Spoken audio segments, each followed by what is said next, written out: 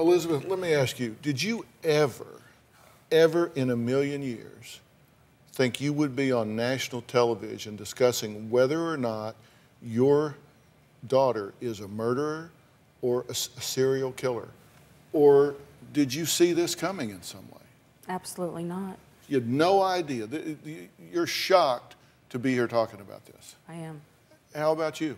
I'm just. talking about as your little sister here. Yeah, I'm. I'm just as shocked as she is. What is it, Elizabeth, that you want people to know about Miranda? That she's not a cold hearted monster. Why do you say that? Do you believe that she killed this man? Yes. What do you say to yourself as a mother to picture? What, what would she be doing with a knife? What would she be doing in the car with a man with a knife? And why would she be stabbing somebody at all, little alone, hacking away a, a couple of dozen times? What, what do you, how do you process that? It's hard to process. How is she not a cold hearted monster? I think she was influenced by her, her husband, is what I think. Is that what you think?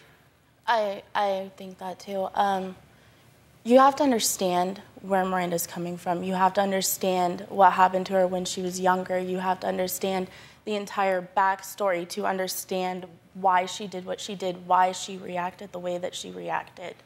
I really truly believe in my heart that they talked about it and she never thought that he would actually go through with it. And I really do believe, you know, she used to watch Dexter, NCIS, CSI, and I really do believe, you know, that she planned it and talked about it, but I don't think she ever thought that they would ever truly care about it, well, carry it out until Elliot came to her and said, I want to do this, and if you love me, you'll do it with me. Do you have any doubt that she c- killed this man?